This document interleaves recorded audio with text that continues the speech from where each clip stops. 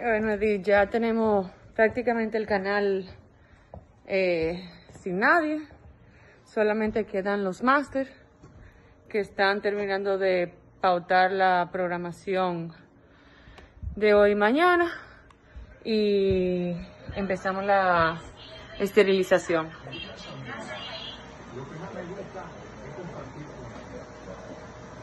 Quedamos tres.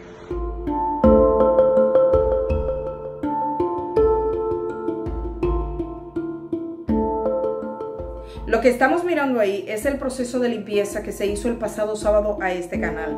Teleradio América tuvo que limpiar todos sus equipos y traer una empresa especializada. Después que en estas instalaciones, como en otras, estuviese el doctor Héctor Barcácer, él es infectólogo y estuvo en Teleradio América en al menos dos ocasiones. Estuvo la semana eh, anterior, viernes, y estuvo la semana pasada a, a mediados de semana, eso es lo que tengo entendido.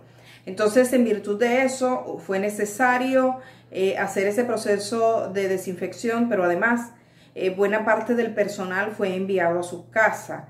Hemos constatado que efectivamente la prensa tiene que tener unos cuidados especiales. Junto con eso nos llegaban noticias, por ejemplo, de un periodista infectado. El ambiente de trabajo se puede tornar riesgoso para el ejercicio periodístico en estos días. De ahí que estemos en la necesidad de hacer ejercicio como el que estamos haciendo en este momento. Nosotros estamos haciendo todo lo posible para que en breves momentos, ocho de nosotros del show del mediodía, vayamos a un laboratorio a hacernos eh, las pruebas del lugar. Y bueno, con la marcha supimos que había estado en varios canales. Estuvo en Telesistema, en Color Visión, en el show del mediodía. Eh, hemos visto que su equipo eh, comandados por Iván Ruiz, han manifestado que se van a someter ocho miembros de su equipo a una prueba. Estuvo también con Carolina Aquino, que lo anunció en sus redes, que dijo que va a tener que hacer un proceso eh, de cuarentena. Todas estas personas están apartadas. Estuvo en CDN, donde también hay personas eh, que están en cuarentena, que están en aislamiento, esperando a ver qué pasa. Y bueno, no estuvo con Nuria Piera, el señor Balcácer, el doctor, eh, por una razón. No estuvo porque eh, poco después eh, de salir de una de sus últimas entrevistas, Nuria Piera pensaba hacer con él un recorrido en un supermercado. Y según lo que me comentó Nuria y que de hecho me autorizó a comentarlo con ustedes, ella pide al supermercado un permiso y no permitía la entrada de cámaras, de modo que en ese sentido fue afortunada y no hizo ese recorrido porque iba a estar bien, bien, bien cerca de este médico que ya eh, para entonces tenía unos síntomas visibles de lo que estaba ocurriendo. Esos síntomas quedaron expresados en esta entrevista que realizaba, eh, que creo que era el eh, sexto medio de comunicación donde estaba, y donde le preguntan abiertamente, doctor, ¿usted tiene coronavirus? ¿Qué paciente tiene que ir al laboratorio? ¿Usted tiene coronavirus, doctor? Usted está mocoso. A las 10 de la mañana te digo. Entonces, ¿qué pasa? ¿Usted se hizo la, prueba? doctor? A las 10 de la mañana me la voy a hacer. doctor, te debe decir eso. Yo lo dije, Arabel. Fernando, Fernando, nosotros... Doctor, ¿y usted no tiene una mascarilla? Sí, claro. ¿Y ya Tengo dos. ¿Eh? Fernando, ¿dónde está? Nos van a venir a buscar en salud pública, te amo. No estoy tosiendo, yo te aviso. No Pero en casa vamos a hacer. Nos van a venir a buscar de salud pública. Nosotros vamos a hacer, vamos a hacer un enfermedad reveal, como se hace con los, con los niños para saber el sexo. Bueno, así salía el doctor. Justo, justo después de ahí fue que eh, el doctor se hizo la prueba y dio positivo y dejó tras de sí una estela de muchos medios de comunicación afectados. En el caso de Teleradio América, como les presentaba, tuvo que hacer ese proceso y evidentemente el programa mío que se produce acá en este canal está siendo hecho desde fuera. Pero bueno, esto es una lección también, una lección para la prensa dominicana, todos estamos aprendiendo y para la prensa del mundo. Eh, conversaba con periodistas que están tomando medidas extraordinarias. Yo conversé con un periodista de una agencia internacional que decía que eh, su agencia no va eh, a los hospitales, no entrevista enfermos y tampoco lleva gente en vivo a los canales de televisión. Y entonces estoy pidiéndole a la gente que me envíe los videos, le entrevistamos vía WhatsApp, pero evidentemente esta es una, una temporada donde nada es normal aquí. El, doctor Balcácer, eh, con posterioridad a esta entrevista, eh, dio unas declaraciones. Una vez él eh, dio positivo, se lo informó y varios medios comenzaron a difundir la información. Ahí se creó incluso, me parece que cierto malestar por parte del doctor que reaccionaba de la forma que ustedes van a ver. Muy buenos días, Héctor Balcácer, infectólogo de este lado. Han estado circulando algunas noticias en redes sociales y medios digitales de que tengo coronavirus. La respuesta es que sí. En el día de ayer me hice la prueba de coronavirus y salí positivo.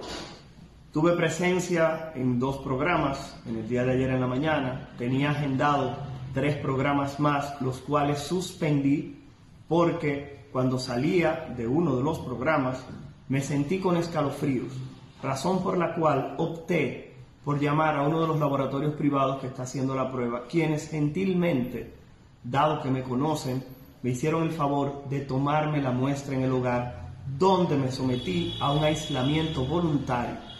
Repito, suspendí tres programas que tenía posteriores, porque aún lo único que sentí fue malestar general. Entendía que mi deber era estar en la casa si pudiera existir la posibilidad de tener el coronavirus. Lamento mucho que algunas personas estén tomando este tema para hacer o para tratar de hacer daño. No me siento mal lo más mínimo por la decisión que tomé de quedarme en mi casa o de hacerme la prueba, pero sobre todo no me siento mal por haber brindado la información. Habían personas que me recomendaban que no dijera nada, que me quedara callado, pero iba a ser más irresponsable de mi parte que aquellas personas que estuvieron en contacto conmigo no supieran mi estado de salud. Por esta razón simplemente quiero aclarar que no sabía que tenía coronavirus previo a estar en ninguna de esas entrevistas. Y número dos, que de manera voluntaria brindé información a aquellas personas a las cuales pude haber expuesto. La prueba me llamaron de ese laboratorio cerca de las 7 y 30 de la noche y antes de los 10 minutos ya todas las personas que tenían eh, algún tipo de contacto conmigo, que tuvieron, perdón, algún tipo de contacto conmigo, tenían la información. Asimismo lo he dicho a todas las personas que han tenido preocupación por mi estado de salud. Quiero también comentar algo. Esto es una situación que le puede ocurrir a cualquiera. Estamos viviendo en un país en el cual la enfermedad se está propagando. Desde el día uno que se comenzó a hablar de coronavirus, Héctor Balcácer ha salido a hablar de las maneras de prevención, pero también tengo que reconocer que soy médico y que trabajo en hospitales donde atiendo personas e independientemente de que utilizo medidas de protección, los médicos siempre vamos a ser los más expuestos a este proceso. Por tal motivo, simplemente le quiero decir que aquellos que me están señalando hoy pueden mañana padecer el mismo proceso. ¿Y saben a quiénes van a tener que acudir? A los infectólogos, a los médicos. Recordar que cuando comenzó la epidemia, los médicos, las enfermeras y el personal sanitario fue el primer grupo que se enfermó. ¿Por qué? Porque estábamos ahí al pie del cañón brindando atención. Así. Quiero agradecer a aquellas personas que me han enviado sus oraciones, sus buenos deseos y han dado muestra de solidaridad. Pero no me he muerto todavía y quiero pedirle a aquellas personas que realmente, si esto es conmigo, que soy médico, que sé cómo identificar algún proceso de severidad de la enfermedad, me imagino que cualquier otra persona que esté positiva, ya sé por qué está manteniendo su estado serológico en un estado de eh, anonimato. Porque realmente, eh, ante el desconocimiento, muchas personas entienden que uno se va a morir de esto. Recordar que el coronavirus en personas jóvenes que no tienen ningún tipo de enfermedad comórbida, o sea, que no tienen alguna otra enfermedad, generalmente no tiende a presentar formas graves. Quería decir que me encuentro en un aislamiento voluntario, Aún el ministro de Salud en el día de hoy, varias de las autoridades de salud de nuestro país nos han llamado para solidarizarse, porque creo que ellas se han dado cuenta del trabajo que hemos tratado de realizar en lo que es prevención y llevar conciencia al pueblo dominicano. Quiero también agradecer a aquellos medios que en lugar de hacerse eco de las noticias que están surgiendo han preferido contactarme para preguntarme qué ocurrió. Creo que hubiera sido lo más ético, creo que hubiera sido lo más responsable, en lugar de estar reproduciendo noticias que repito, no me molestan porque sé qué he hecho y qué no he hecho. Entonces, bueno, lo que quizás molestó a mucha gente eh, fue ver el video, el video donde el doctor le pregunta, doctor, usted tiene coronavirus y dice, me voy a ir a hacer la prueba. O sea, él incluso está visiblemente afectado y tratándose de un profesional en la materia, por eso surgieron quizás eh, este tipo de preguntas. Uno de los que tuvo algunas declaraciones y que la gente vio y se enteró mucho de este caso fue el abogado Nacet Perdomo. Nacet Perdomo está actualmente en cuarentena, ha contado en sus redes sociales cómo lo vive y obviamente cuestionaba porque él llegó al lugar donde estaba este médico, se sentó en la misma silla y ahora está esperando. Todo el que haya tenido contacto de esta forma directo e incluso aparece, eh, podría ser indirectamente, eh, porque Nace no estuvo junto con él, pero ocupó su, su, misma silla, mismo micrófono. Entonces también son de los elementos que en esta época de coronavirus hay que tomar muy en cuenta. Eh, las medidas de seguridad tienen que ser extremas. Veamos lo que ponía Nace Perdomo en su cuenta. Eh, ahí tienen ustedes, así lo publicaba, pero además quiero compartir con ustedes este video que tan amablemente él ha grabado para nosotros. Mi nombre es Nassef Perdomo Cordero, soy abogado.